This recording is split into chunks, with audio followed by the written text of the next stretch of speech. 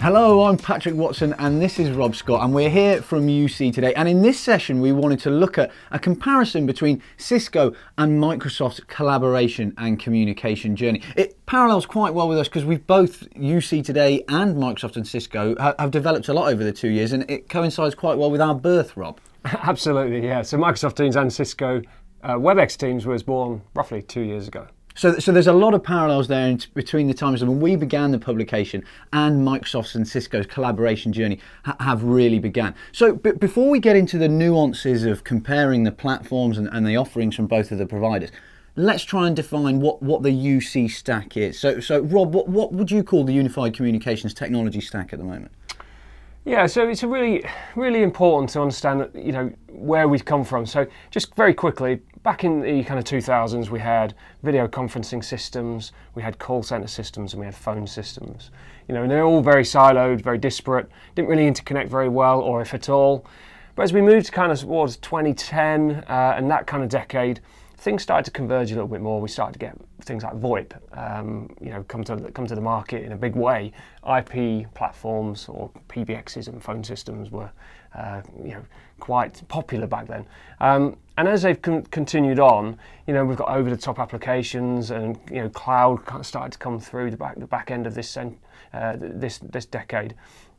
And you know, where we are now is what I'd like to call UC3, which is you know, cloud delivered SaaS applications over the top. Um, as you know, uh, lots and lots of uh, providers out there now doing, you know, cloud communications platforms, um, and contact centers are very much a part of that. But they're starting to come together more and more. So we're starting, starting to see this hyper convergence of, of UC applications, um, and within that UC stack, you know, we have several layers. Okay, so let's take a look at what makes up the, the composition of, uh, of a unified communications technology stack. Yeah, so you have put something together that kind of makes it easy to, for us to understand, especially when comparing products and, and brands like uh, Microsoft and Cisco. So when you look at um, the UC stack nowadays, we've got cloud calling or cloud communications, cloud delivered, you know, phone system functionality, you know, users connected from the cloud. And the next layer down, we've got the, the, collaboration stack, you know, and this is a really popular stack right now. Yeah, something really trending. Absolutely, you know, team collaboration, video conferencing over the cloud, or you know, it's really, really popular right that now. Synchronous chat feature as well, which is obviously massive at the moment in terms of team absolutely, absolutely. So you know, if, if, if, ever we've been cool as an industry again, you know, this is the time for us. I don't think you were ever cool in the industry, but we, we can try. So so we've got as part of the modern UC stack, we've got calling, we've got cloud calling, we've got collaboration. What, what are the other composite parts? So a really important one that's starting to come closer and closer to the, the, the is customer experience technology. So we, we, we would have called it back in the day call center technology, coming on to contact center technology with omni-channel, uh, chatbots and stuff like that. So that's now we, we're starting to consider as part, you know, a core part or a core layer of that UC stack and underpinned by the business layer. So the business, the management layer, the, the admin layer, the, the boring bit, uh, effectively. Yeah, well, some some might call it the boring bit. Yeah. I, I, quite like the, bo the boring The non-technical bit, might call it the boring bit, but that, that final management piece, you're right, it's a, it's a crucial piece of the entire technology yeah, stack. Yeah, absolutely. So I think one thing that you established when, when you were putting together and doing the background research in this is once we've defined the stack, experience is a, is a critical part of pretty much every aspect, isn't it? Whether it's user experience or, or customer experience. Yeah, it's, it's, it's almost the other way around. You know, if we start with business outcomes, then we, we, we can really start to kind of build a, a strategy, a common strategy around, you know, achieving those business goals. So if we talk about experience for a moment, you know, within that UC stack, we've got various experience components. So we have, you know, very first of all, we have the user experience. So the cloud calling element, really, you know, what, how does the user use the tools? How does it connect into the business, remote working, that, that kind of mobility? Is it easy to use? Is it fun to use? All of that sort of stuff. Absolutely. We kind of marry the UX up with the cloud calling piece. We then take the, the collaboration piece and marry that up against team experience. Because if you get the team experience right, you get productivity, you get efficiencies. So moving on from that one, if you get the customer experience right, you get the contact center solution in there, perfectly tickety boo. We've got a really nicely rounded solution. And we hear a lot about customer experience at the moment, don't we, in terms of how important that is for, for, businesses. And I suppose the same applies to both team experience and user experience. Absolutely. And finally, underpinned the, that management layer is the business experience. The business has got to enjoy the platform just as much as everyone else. So, Rob, now we've defined what the unified communication stack is and what it's made up of and why it's important. Let's have a look at Cisco's offering within within that area. So, I think we, we were talking before. You know, they're they're arguably one of the two biggest players in this, alongside Microsoft. I think part of their business is you know five billion dollars. The collaboration unit makes up over 50% of the market potentially controlled by Cisco. So, so they play a really fundamental part in the industry.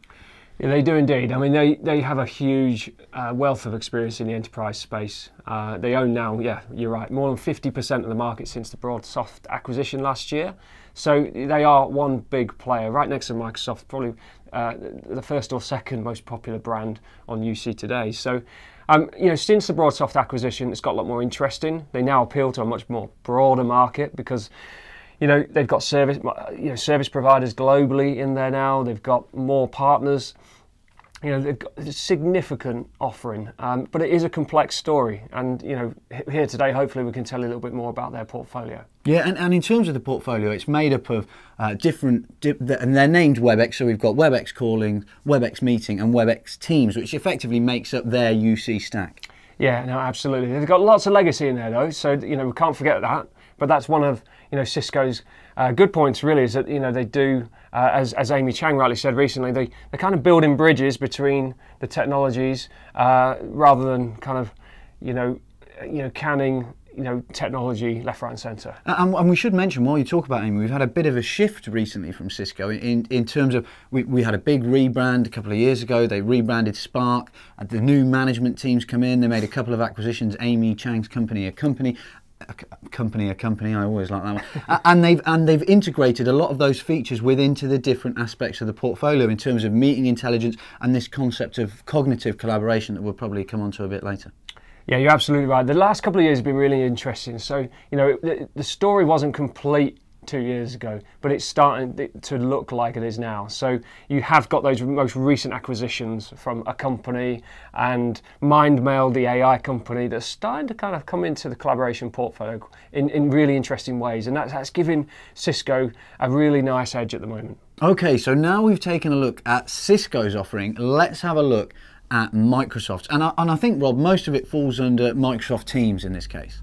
Yeah, yeah. So I suppose the big quest- big question here is how do I get from Skype for Business to Teams? Because Microsoft have a, you know, a, a, key message for you there is, you know, it's not about running the two platforms; it's about running one platform. They want to move you to Microsoft Teams.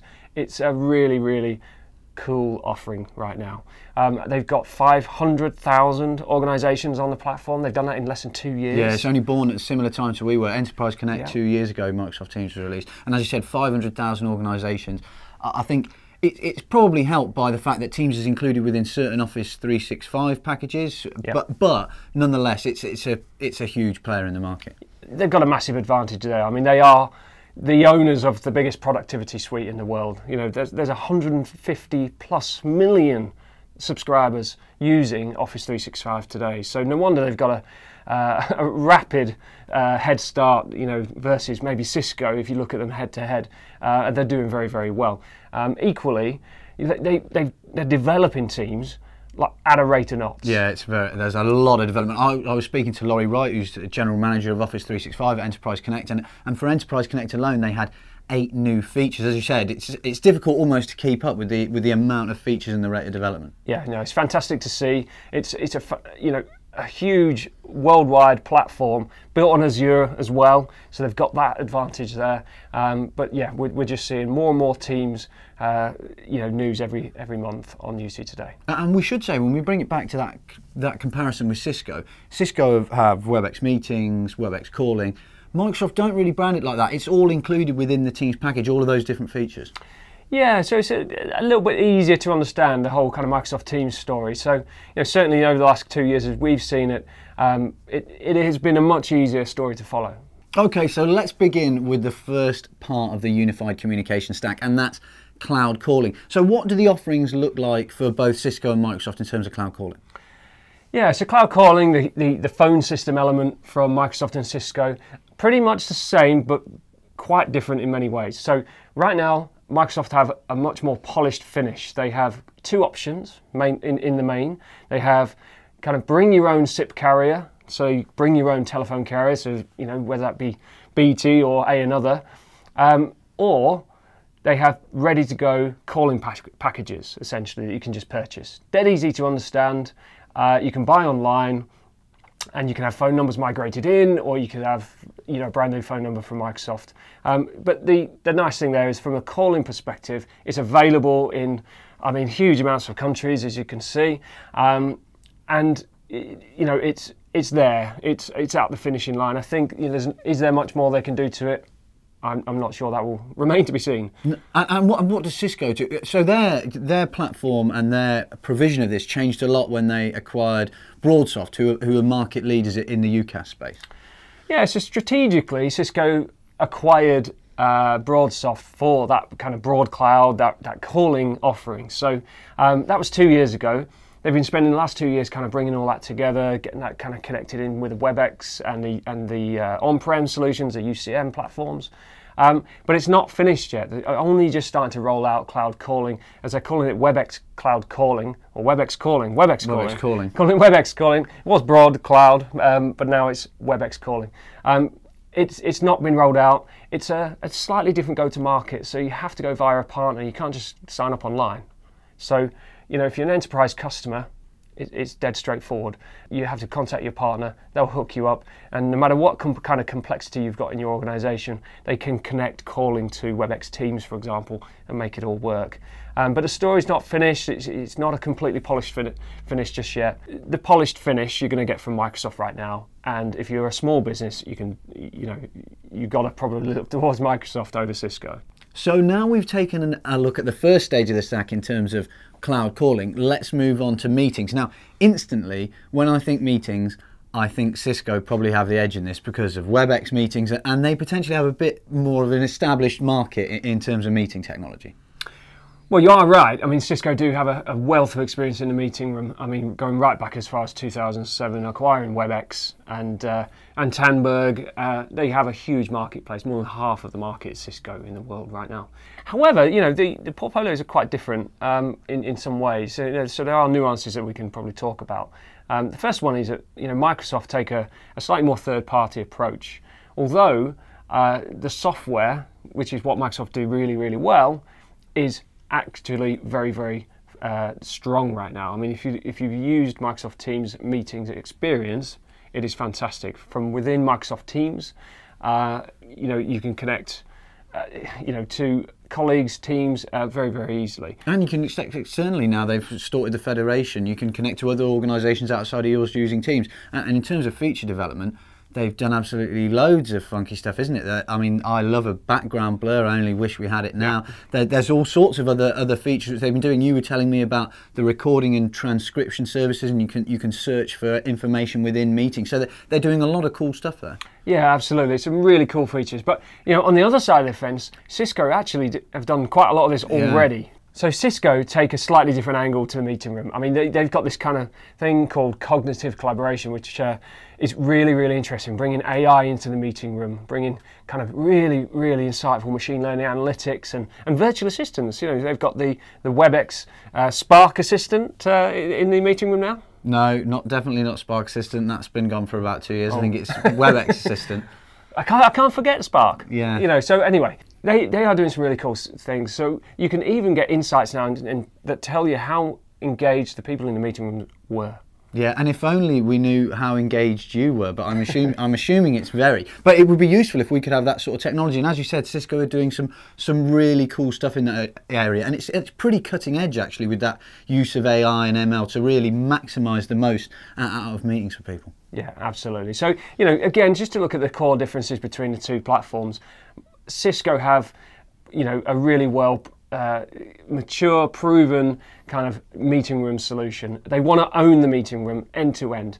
Uh, Microsoft, on the other hand, they're a bit more of a third party approach. Yeah, so that is a really important difference that you've highlighted in terms of Cisco want to own every aspect of your meeting experience, from the software right down to the hardware. Whereas Microsoft are primarily focused in the software, parting with third parties for the hardware. And Cisco, you've got their WebEx boards, you've got the WebEx Room Kit and the WebEx Room Kit Mini, and they're doing some really clever stuff there. So that, that's a really important difference between the two. Yeah, absolutely.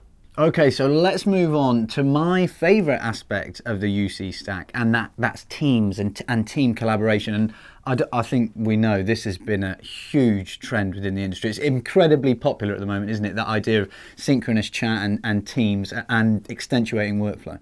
Yeah, absolutely. I mean, you know, according to Aragon Research, I mean, by 2025, Teams will be the primary way we communicate and collaborate. So, you know, this stuff is kicking it. I mean, I don't believe that. I think you'll still be on email and sending me, you know, written letters in 2025. But I can imagine as more of my generation enter the workforce, we might boost the team collaboration. So, from your perspective, what are the most important aspects of a team collaboration tool? What what sort of the table stakes that you have to have from an application? That's a good question. I mean, so you know, team collaboration software is, is basically made up of voice, video, messaging, and the concept of channels or spaces where you can all collaborate and uh, and communicate. And that's a key difference between Microsoft and Cisco, there, isn't it? In terms of one of them calls it channels and one of them calls it spaces. Yeah, they're both called Teams. One's got channels, one's called spaces. Dead simple. Let's have a think about some of the more advanced features within both of the team applications. Yeah, so advanced features. This is where Teams really kind of you know jumps on steroids. You know, you've got bots, you've got integrations, you've got APIs. You can have this stuff on virtually any you know device. You can have it in any browser, WebRTC. Um, it's really accessible and it can integrate into your daily workflows. And so with things that, you know, if you think about the, the pioneer of team collaboration, which was Slack, which have like 10 mi- million daily active users, uh, the success of Teams is, is extraordinary. Um, but the concept of, you know, integrating, you know, a single pane of glass into your daily workflow it, collaborating, communicating, and bots feeding you contextual experiences and information. It, it's absolutely amazing, and uh, you know we use Teams currently day in day out, and it, it's fantastic. Okay, so apart from the names, what are the key differences between Microsoft Teams and Cisco WebEx Teams? Well, I think there's a lot of parity here. So I, I think you know one of the biggest things, and, and I kind of refer to Slack on this, is the, the, the integration possibilities. So right now, if you want to integrate Cisco WebEx Teams or Microsoft Teams with your critical business application, whether it be a CRM or a help desk software, then it may or may not be able to connect in. Okay, now we come on to the customer experience proportion of the UC stack, which, as we were saying before, is, is incredibly important. And again, I would have thought Cisco potentially have the edge in that area because of their history within contact center provision. Yeah, I mean, Cisco have uh, a huge history with contact center, so they have a, a, massive portion of the market. I think they believe they, you know, could be the even market leader in uh, the on-prem world. Um, certainly, uh, you know, since the acquisition of BroadSoft, they've taken on CC1, which is now called Customer Journey Platform, which is a pure cloud CCaaS kind of delivered uh, solution and, and highly capable. So I would have thought that Cisco's contact center solutions traditionally would integrate better into their UC Stack WebEx offering. Is that the case? What what do Microsoft have in that area? Because I, I never thought them thought about them specifically within contact center environments.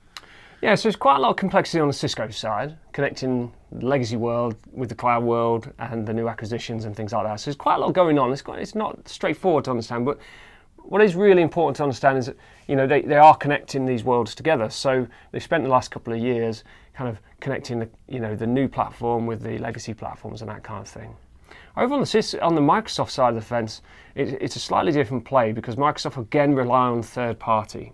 So they provide APIs, but they rely on companies like you know Enghouse Interactive, uh, Genesys, and Landis Technologies to kind of develop the applications for contact centers. So, so how's that developing? Because I know you were telling me previously there was a lot of integration between Skype and third-party contact center providers, but it hasn't quite been as rapid the development in terms of Teams, but it's coming.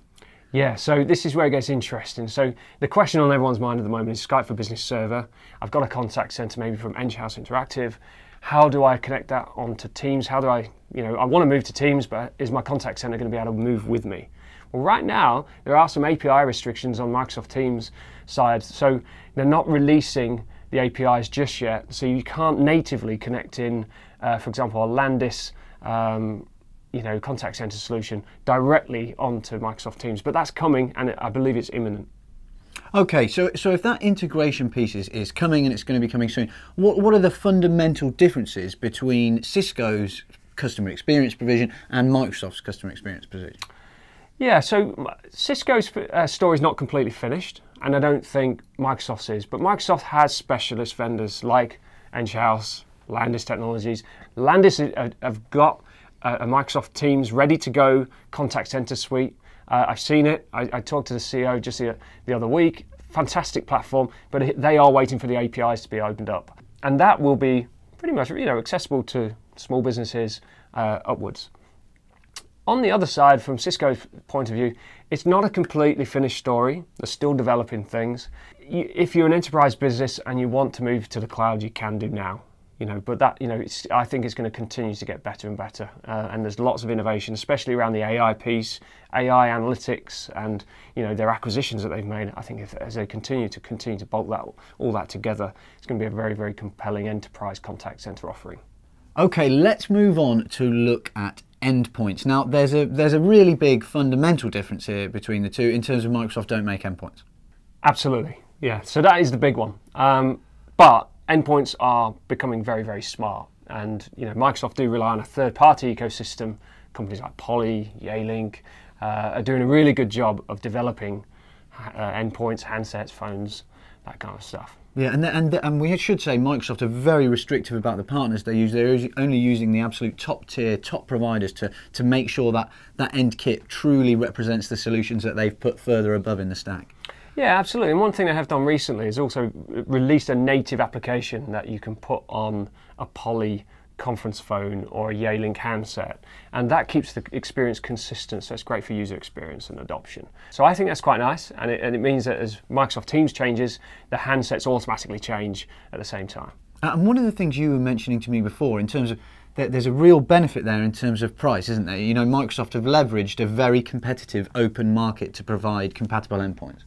Yeah, absolutely. So when you've got an open ecosystem of, of vendors like that, you, you obviously got a choice. So more choice means lower prices or more competitive prices. So yes, potentially that's one key difference there between Cisco and Microsoft is you can get lower prices from Microsoft. So if I'm Cisco and I produce, and we'll come on to some of the really clever stuff they do in their endpoints, how do I compete with the open market in, in terms of device?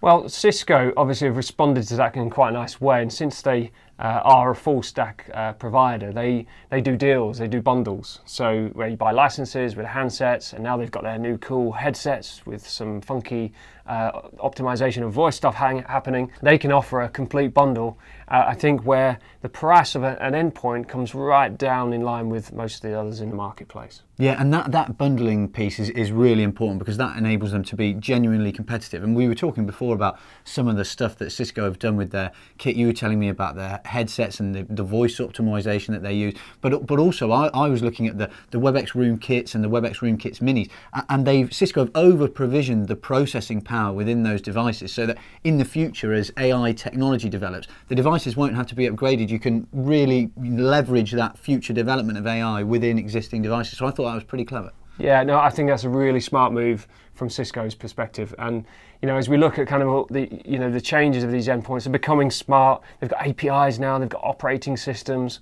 They're doing some really cool stuff. And I think you know wearables and VR and maybe even AR coming into our space now. I think we're going to see some really interesting stuff happening. So you know, it is a great ecosystem on Cisco side and Microsoft side. Um, so but I think from the Cisco's perspective, it, it is a full stack offering uh, where everything does interoperate very nicely together. Yeah, and just to review, that is the key difference, isn't it? Cisco full stack, produce their own endpoints. Microsoft rely on very good third parties for that. So let's move on to my favourite and probably the most exciting proportion of the UC stack, which is the management layer which no end users care about, but from a business administrator and management mm. perspective, is incredibly important. It is. It is indeed. So we have the you know the licensing, the security, the compliance.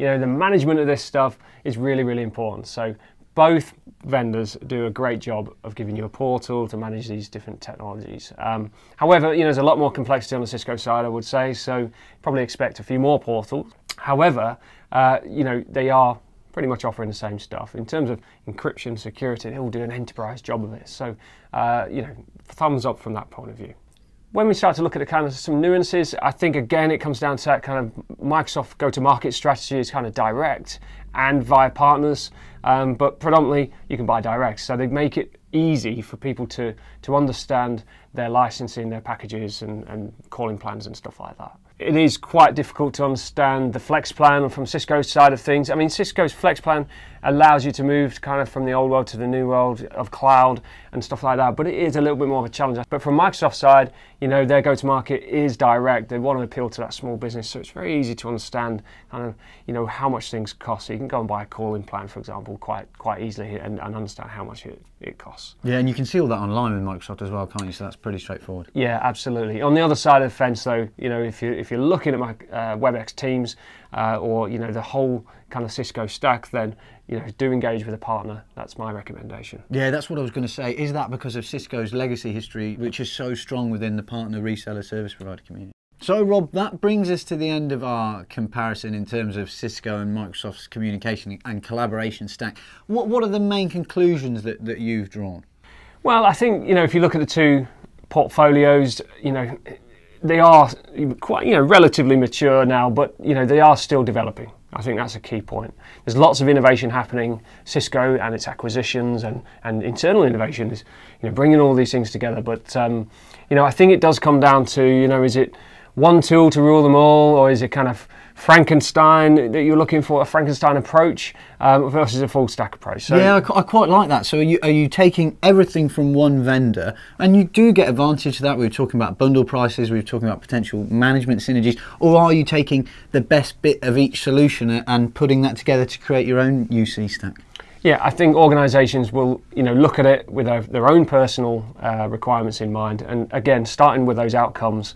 You know, one versus the other might suit your business. Um, certainly, you know, one big thing here is, is kind of interoperability as well. So I don't think we can forget that. Is that you know Microsoft and Cisco don't generally interoperate fantastically with the, the rest of the world. So uh, certainly, if you you want Microsoft and Cisco on the same network in the same organisation, coexistence is, is going to be pretty pretty awkward. Well, I, hope that improves going forward, and we have seen some early indications that, that it might do. We saw some more integration with the Microsoft productivity apps within within WebEx. You, you can use OneDrive, you can access the productivity apps, and, and I think Cisco have obviously conceded they're never going to compete on productivity apps against Google and Microsoft. So there is going to have to be some level of, of playing nicely. Yeah, well, we hope so. But um, moving to a kind of UC3 stack is, is, you know, a journey. It's, it's how smooth can you get to there. I don't think there is a finishing line, um, but ultimately, it's, it's you know, giving your uh, organisation and teams and users a frictionless experience. Yeah, well, that's obviously the, the, key factor there. Thank you so much for watching this video comparison of Cisco and Microsoft's collaboration stack. If you want to find out more, visit the website uctoday.com and there, there are smart guides there that you can find that provide so much more detail than we've gone into. But for, for the meantime, Rob, thanks for talking me through it and thank you so much for watching.